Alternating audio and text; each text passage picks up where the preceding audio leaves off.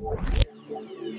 मुख्यमंत्री जयराम ठाकुर दो दिवसीय कांगड़ा प्रवास पर धर्मशाला पहुँचे। इस दौरान बीजेपी मंडल की ओर से उनका स्वागत किया गया। साथ ही मुख्यमंत्री ने बीजेपी मंडलों के साथ मैराथन बैठकें भी की। मुख्यमंत्री ने कार्यकर्ताओं को मिशन रिपीट को लेकर भी बातचीत की और केंद्र और प्रदेश सरकार की कल्याणकारी योजनाओं को जन जन तक पहुँचाने का निर्देश भी दिया। साथ ही कार्यकर्ताओं की समस्याओं को जाना और आपस में सामंजस्य बिठाकर कार्य करने की बात कही ताकि 2022 में बीजेपी की सरकार को एक बार फिर से रिपीट किया जा सके। देखिए बैठकों में सब रहने वाला वो तो हम नहीं बताएँगे, लेकिन अच्छी कोऑर्डिनेशन के साथ हमारी वर्किंग शुरू हो और काम अच्छा चल रहा है, सारी पार्टी और सरकार मिलकर के काम कर रहे हैं।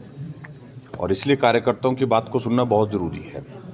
तो ये मंडल मिलन का कार्यक्रम हमारा ही काफ़ी दिनों से चला और उसमें बहुत अच्छा महसूस कर रहे हैं सभी कार्यकर्ता और सभी कार्यकर्ताओं की ओर से बहुत ज़बरदस्त इस बात के लिए आग्रह है कि सभी मंडलों में अठासठ के अठासठ मंडलों में इस कार्यक्रम को किया जाए। तो पिछली बार भी हमने तीन मंडल जहाँ पर किए थे धर्मशाला में, और आज भी हम तीन मंडल और कर रहे हैं। पिछले कल तीन मंडल हम हमीरपुर करके आए हैं। इससे पहले हम शिमला करके आए हैं। तो इसलिए इस क्रम को आगे बढ़ाएँगे बस। देखिए मनकोटिया जी के बयान पर मैं कोई ज़्यादा टिप्पणी करना उचित नहीं समझता हूँ। उनकी क्रेडिबिलिटी के विषय को लेकर के सारा प्रदेश जानता है।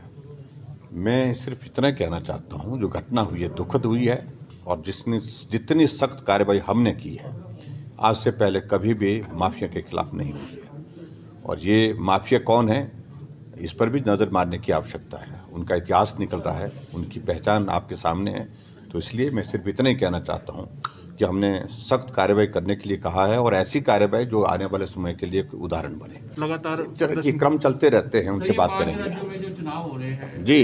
उसमें आपको क्या प्रतीक्षा भाई पाँच राज्य में चुनाव का माहौल अच्छा है। मैं अभी उत्तराखंड जाकर के आया हूँ मुझे जो वहाँ के वहाँ के माहौल को देखा तो उसमें लगता है कि निश्चित रूप से भाजपा फिर से सरकार बना रही है।